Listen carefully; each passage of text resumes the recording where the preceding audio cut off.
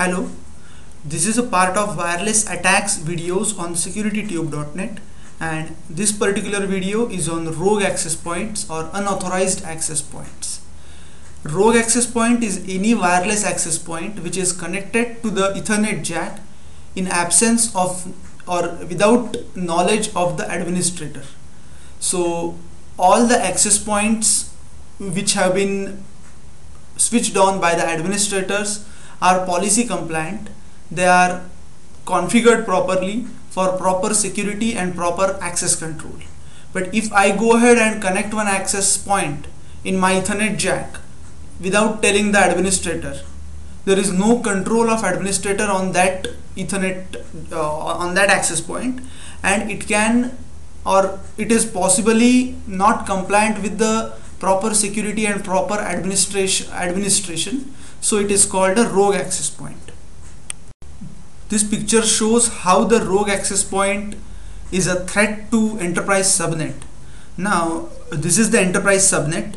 This is one of the VLANs and here one authorized access point is connected to which other clients and PDAs and all other wireless stations are connected.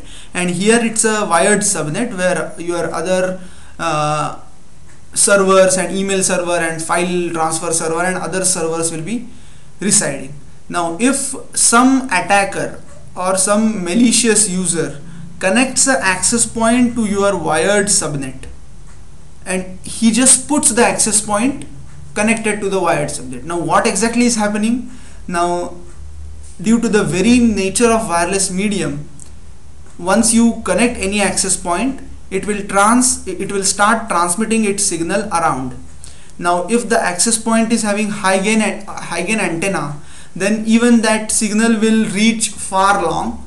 And if the attacker is sitting in in some parking lot or something then and if the AP is having proper radio settings then even in the parking lot enough signal will be available and attacker is able to sniff the media not, e not even sniff, sniff the media. Attacker can associate his client or his station to the access point and through this client he can easily have access to the enterprise subnet and he can inject some wireless attacks or he can inject something like man in the middle attack or some denial of service attack or he can even read the wired packets depending upon the access control and depending upon the security policies on the ethernet subnet.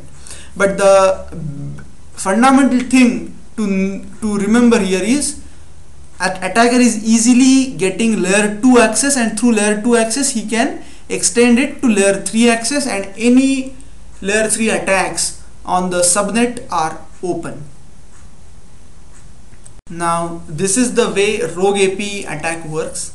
Attacker goes ahead and plants his own AP on enterprise subnet now the interesting thing to remember here is many times attacker is not even required to plant his own AP on the enterprise subnet but there are already some non-administrated open access points or not properly security compliant access points lying around in enterprise subnets. And believe me these things do happen in airports or hotels or in even in enterprise uh, even in uh, big companies and enterprises uh, why these things happen? Uh, many times employees bring their own access point to get good coverage in their office area or in some conference rooms etc and due to this it opens a security hole to the enterprise network. Now attacker can control uh, now if attacker is uh, planting his own AP then he can surely control the security settings its network setting its firewall settings and filter setting etc and he can easily get layer 2 connectivity to the enterprise subnet. And thereafter attacker can simply access the network resources and he can compromise those resources with the help of some metasploit exploits or any other attack which is known or which is worldwide known can be easily launched on this enterprise network. And that's real security hole. And that's real concern for any enterprise because there is very little control that enterprise authentication or enterprise security mechanisms that have or uh, enterprise cannot control the wireless clients which are getting associated to these rogue access points very efficiently you will be having a natural question in your mind that how can I prevent these rogue access points in my environment? And I will give a simple suggestion. Enable 802.1x on your wired switches.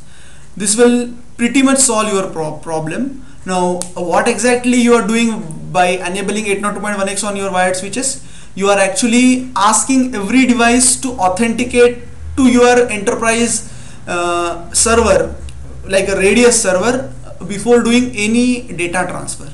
So when you actually connect access point only EAP ports are open which are just used for higher layer authentication. And once this higher layer authentication is passed only then data ports are open and only then data transfer can happen between wireless stations and wireless access points. So if attacker inserts his own rogue access point to your enterprise subnet. That access point has to do proper higher layer authentication between your radius server and your access points. Unless this higher layer authentication wired side authentication is not passed the EAP other than EAP ports will not be open and no data transfer will happen between your wired and uh, sorry your yeah your wired subnet and your wireless clients or his wireless clients to be specific. This 802.1x is on wired side. Apart from your wireless side 802.1x which is four-way handshake and WPS security etc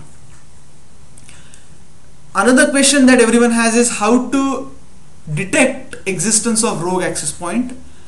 Now rogue access point is transmitting beacons in surroundings so if you know the um, MAC addresses of all the access points which are authorized and then the rogue access points are the access points which are other than these authorized access points. Again it might be a little tricky job to distinguish between neighbors access points and rogue access points. So there has to be some correlation between wired and wireless traffic to find out a rogue access point to do an accurate job you might have to deploy a overlay security solution so that you can surely say which is your authorized access point which is external access point and which is rogue access point but to just to prevent rogue access point enabling 802.1x on your wired switches is pretty much good solution